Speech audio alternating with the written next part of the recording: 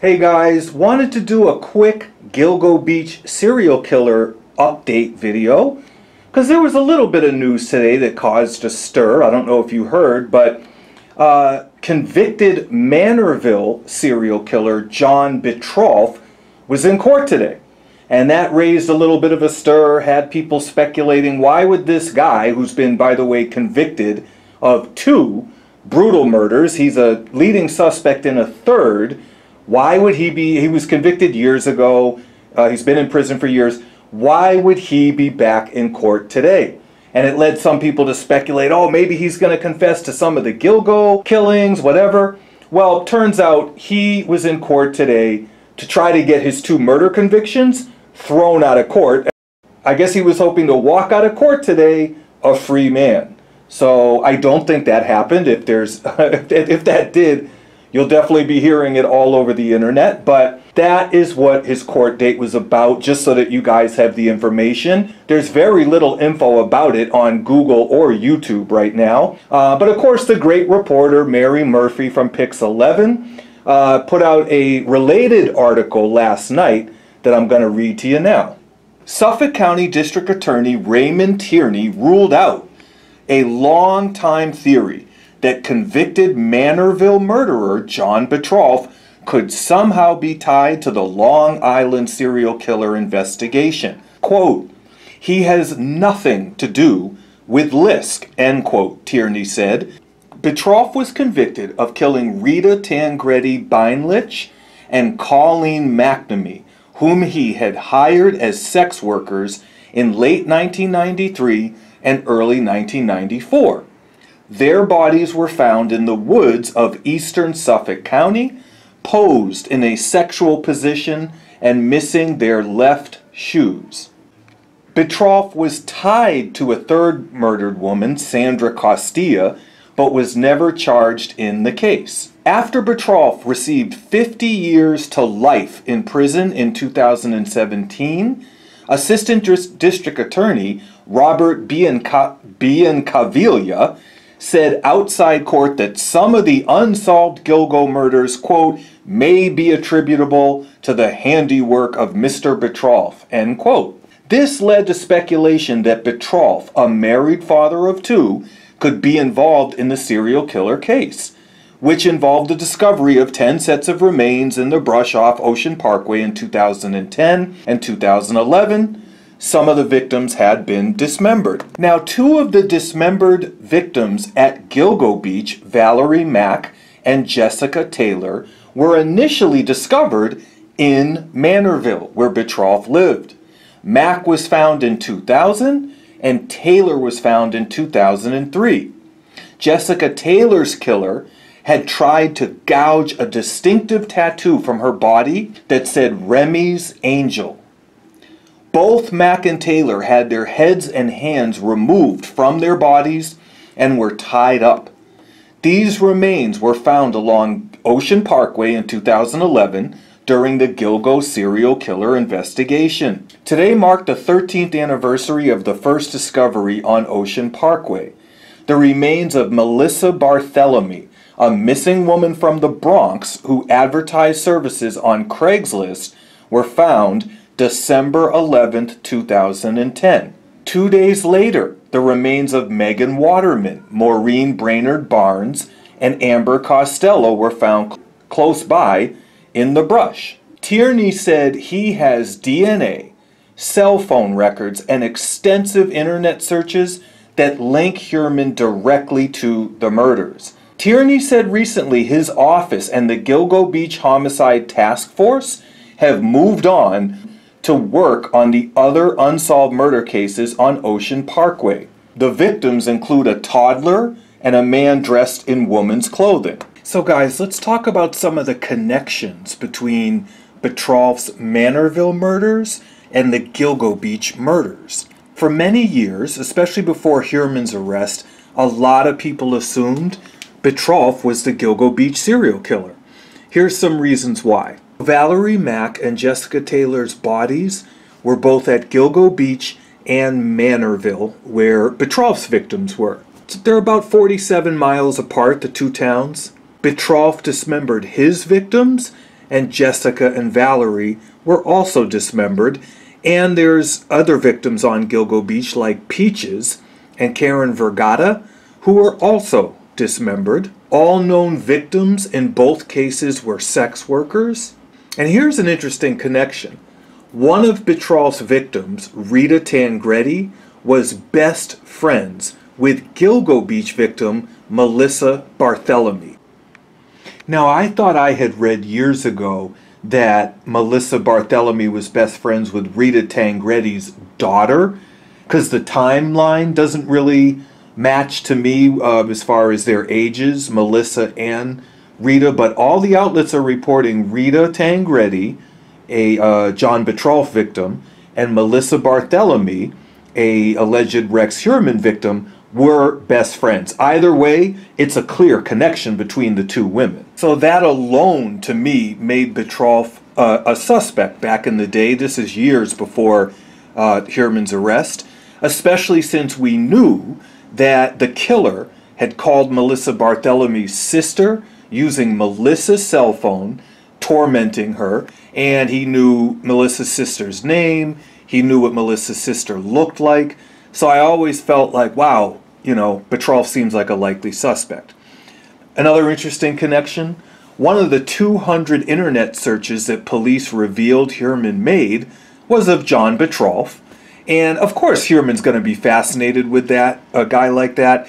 He is going to be fascinated with other serial killers as his web searches show.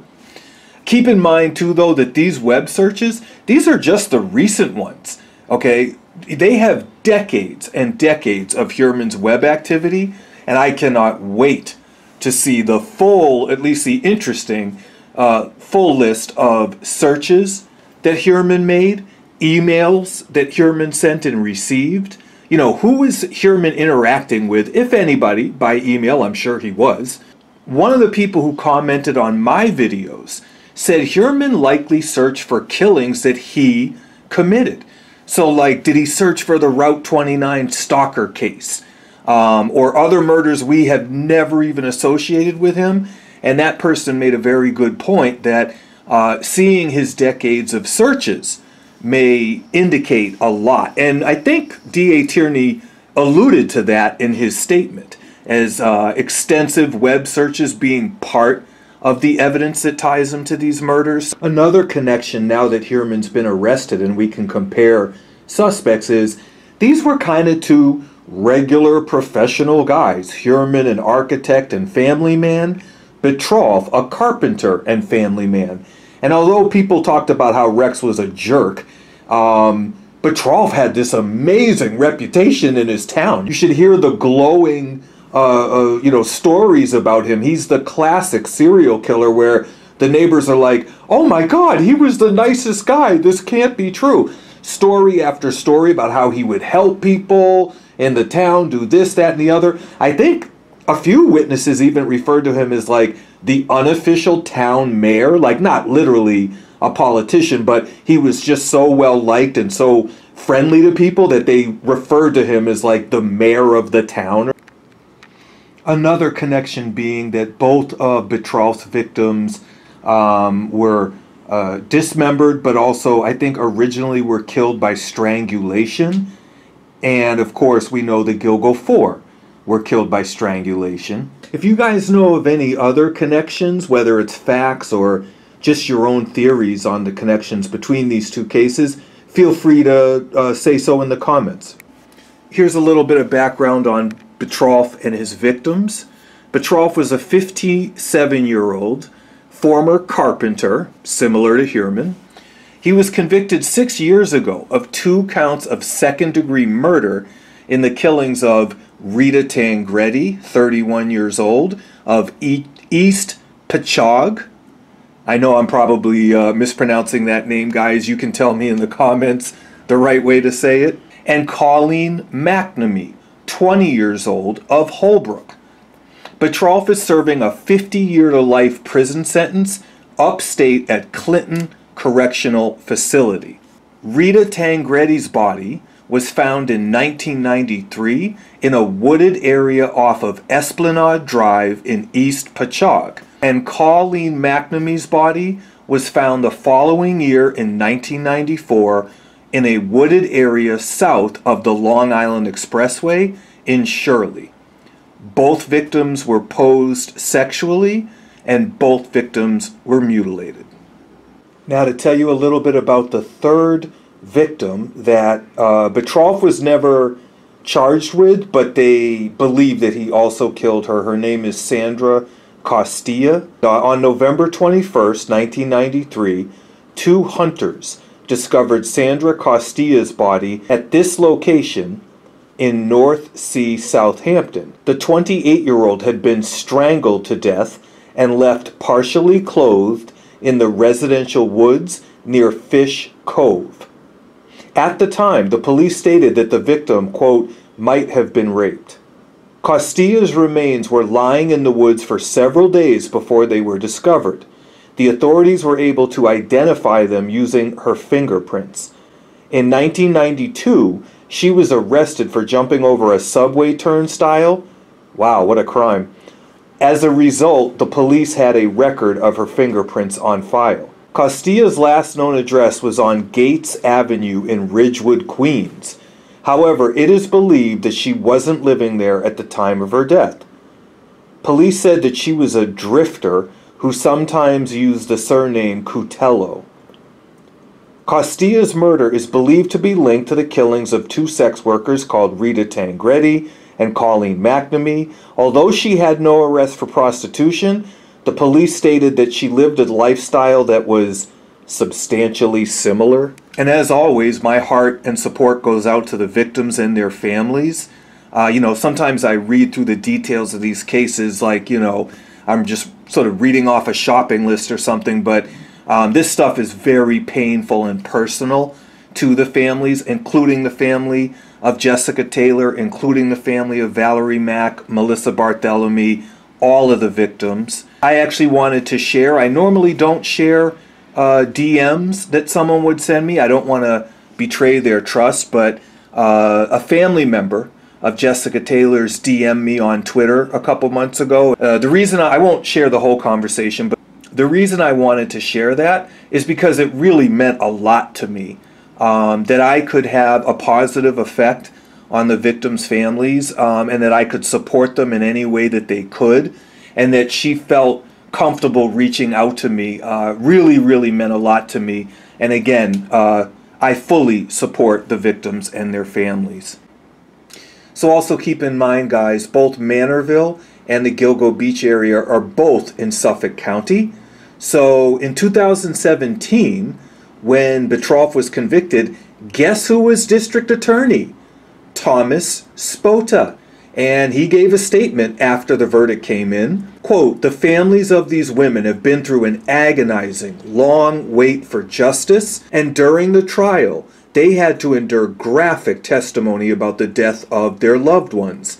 We hope the verdict today gives them some semblance of peace, end quote, uh, Spota said. And although I completely agree with that statement, and that's a very professional, kind statement, given that Tom Spota, all the damage he did in the Gilgo Beach case, and how he and Police Chief James Burke, the two of them were very responsible for the Gilgo Beach case being downplayed for years, uh, being not investigated properly for years, kicking the FBI off of the case, committing uh, corruption in both the Gilgo case and another case that both of them went to jail for, did tremendous damage to the Gilgo Beach case, and they made the families of the victims in the Gilgo case suffer so I just find it uh, a little disingenuous that uh, Spota made such an eloquent, kind statement. And by the way, shortly after he made that statement, he went to prison. Burke had already pled guilty and gone to prison a few years before Spota. Yeah, Burke and Spota way too busy covering up their own crimes, covering up their own uh, corruption. Burke too busy beating up suspects who found kitty porn in his uh, duffel bag. Uh, but Burke wasn't too busy to be going to drug and sex parties uh, on Oak Beach. That's where uh, Shannan Gilbert went missing uh, in the house right next to disgraced pedophile priest Alan Placa. No, Burke wasn't too busy to be going to those parties. That's after he kicked the FBI off the case, after he downplayed the Gilgo murders, after he did everything he could to slow down the investigation and uh, downplay the victims, downplay John Ray, who accused him of corruption. He wasn't too busy to be doing all that. So, of course, Burke went to jail, then Spota went to jail, and then, as many of you remember, just a few months ago, Burke got rearrested on a gay cruising area in Long Island. He got busted soliciting an undercover male police officer, uh, asking him if he could perform a sex act on that police officer. Of course, he didn't know it was a cop. So Burke gets arrested this summer, 2023, for soliciting the undercover male detective, asking him if he can perform a sex act on him. And he also gets busted with drug possession uh, and he says to the cops who arrested him, Do you know who I am? Like, he was expecting them to just let him go, because after all, he's big, important, ex disgraced police chief James Burke. You can't arrest me. Well, they arrested him. Interestingly, though, they did drop the drug charges against him, which I would imagine are the more serious charges. Uh, of course, he still had his buddy Steve Bellone who hired him way back when. Steve Bellone was still county executive on his way out when those drug charges were dropped this summer. So, guys, I want to play you some news footage from John Bittrolff's arraignment. We get to hear from the victims' families, which I always love to give them their say. It's so strange, though, I can't find any footage of his conviction, but he was convicted. He's currently in jail and again, he went to court today again, six years later, to try to get these charges dismissed. Um, and then I want to talk a little bit after the videos too, because I have some observations about Bittrolff that I had when I first saw him walk into court six years ago. New information tonight as we get our first good look at the accused cold case killer of Suffolk County. Our cameras were there when the suburban father of two faced a judge inside Riverhead Criminal Court, as well as the families of the two victims killed more than two decades ago. CBS 2's Jennifer McLogan reports. Accused serial killer John Bittrolff of Manorville listened silently as two cold case murder indictments were unsealed against him. Prosecutors linking the suburban father's DNA to two women bludgeoned and strangled more than 20 years ago and say he could soon be charged with a third unsolved Suffolk case, also from the 1990s. Both victims were found in close proximity to where the defendant resided at the time. Both victims were found naked both victims were found posed in a particular manner. The bodies of 20-year-old Colleen McNamee and 31-year-old Rita Tangredi, both considered sex workers at the time, were found within three months of each other, naked and mutilated in wooded areas of East Patchogue and Shirley. We just learned beaten so brutally their brains were ripped from their heads. It is shocking to me that we are here talking about something as horrendous as this. The families of McNamee and Tangredi left court to sob in the hallway. Dozens of friends and supporters stifled cries when prosecutors described semen belonging to the suspect along with wood chips connected to his carpentry work in the bodies of the victims, clues preserved for decades. This is like the best birthday present I could ever have. Investigators say linked now through the miracle of science, collecting cigarette butts flung from car windows by his brother and wife and digging through Bittrolff's garbage. He's kind, generous, the best neighbor you could have, always there for you. That's who he is standing next to me. I've heard nothing about a prior record. The indictment is proof of nothing. It's evidence of nothing. The seriousness and the brutality that was uh, that was inflicted, I am going to hold the defendant without bail. The district attorney says besides leaving the women in unique, similar poses, the killer took a vital clue from each of them that will remain a secret until trial. From Riverhead, Jennifer McLogan, CBS 2 News. Just nice to see justice uh, served. Anthony Tangredi could barely speak after hearing the wrenching details of his mother's murder when he was a little boy. She was strangled, her skull shattered. Nothing could be harder for uh, a little boy to lose his mom. And you thought they would never catch the killer. Yeah, gave up hope a long time ago. But now, a day he thought would never come. The trial of her accused killer, John Bittrolff, a Manorville carpenter, a married father of two, plucked from an ordinary life when his DNA matched two cold murder cases 30 year old Rita Tangredi and 20 year old Colleen McNamee, both prostitutes killed in 1993. For three years, Bittrolff has maintained his innocence from jail, his family behind him. He's an excellent family man. That's all I have to say. Trusting neighbors were stunned. Always helped everybody. It's just unbelievable. Nobody can believe it. He's like the mayor of this town. He knows everybody. He helps everybody out. But prosecutors say DNA in this case is witness to the truth. It happens. We all, we don't know everything, uh, the dark side of people's lives.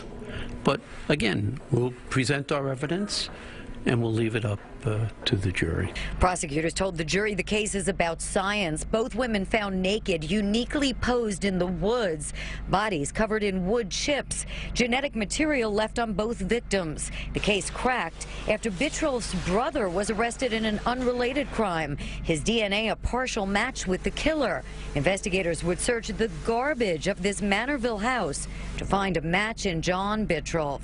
The defense blasted police for losing evidence, pointing out DNA doesn't prove murder and others had motives. Jurors were offered not a hint of a motive, why a man would commit murder twice, then keep a dark secret for 20 years. Bittrolff turned down a plea deal. The trial could take 10 weeks. In Riverhead, Long Island, Carolyn Gussoff, CBS 2 News. Now, despite obvious similarities, prosecutors have said there is no evidence linking Bittrolff to the still unsolved Gilgo Beach killings. So it's 8 p.m. Eastern Time right now. I haven't seen any coverage of today's uh, hearing with John Bittrolff, so I'm assuming it went routine. Uh, most of the media probably doesn't even know it happened. Um, but Mary Murphy was on it, and um, uh, Joe Giacalone, uh, who goes by True Crime with the Sarge, he was on it as well. Uh, so I'll assume it was no big bombshell that he tried to get the charges dismissed, and the judge probably told him to go screw himself and go back to jail. I remember the very first day he walked into court. Now, remember, at that time, Heuermann hadn't been arrested yet. There was a lot of similarities between the Bittrolff cases and Gilgo, so we still weren't sure could this be our guy? Uh, I mean, we're glad he got caught for these murders, but if he's uh, guilty for the 10 victims at Gilgo Beach, we want him for that too. So I was really looking at him closely. I was really sizing him up. And uh, I got to say, you know, the minute he walked into court, I was like, guilty. Um, now, of course, you can't judge somebody by the way they walk into court or their body language. But in my mind, if I was accused of two brutal murders that I didn't commit, I am not going to be walking in. This is right after he was arrested. And I am not going to be walking into court. Oh, dumpty dumpty dum. He just looks like he's out for a stroll on a Sunday morning, you know? Oh, hey, judge, how you doing? I mean, you know, as if he's there for like a traffic ticket or something.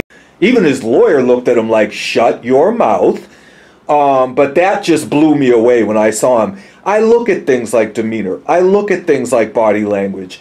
And his body language told me, oh, that's the guy. He's guilty. The cops did not just pick his name out of a hat, and he knows it. I understand everyone deserves a trial, and you know, you can't convict somebody because of the way they walked into court. I'm just telling you what my very first reaction was when I saw him. And so when he was convicted, I was definitely not surprised.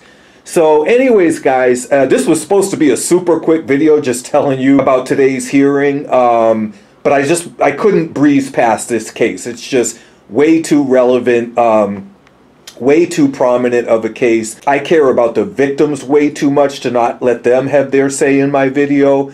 Uh, you know, so I didn't want to make it just about today's hearing. And uh, I'm just very glad for Rita Tangredi's son, I believe his name was Anthony, uh, is Anthony, and I'm happy for all the families that they got some justice. I know it doesn't bring them closure. They will be heartbroken forever, but I am very glad that they at least got some answers, and I'm glad they got this sick, evil, cowardly, disgusting killer put in jail for the rest of his life. So, guys, tell me what you think. Give whatever comments you want, questions, theories. Um, you know, this is a, a huge case that we haven't talked about on my channel yet. Again, a lot of people thought, especially before Heuermann's arrest, that he was the Gilgo Beach serial killer. So, uh, yeah, and once again, guys, thank you so much for the support on my channel. It's been amazing. And I got more videos coming soon. This was kind of an impromptu one because I just found out about his hearing today. Uh, but I got more videos coming soon. Thanks, everybody. Take care.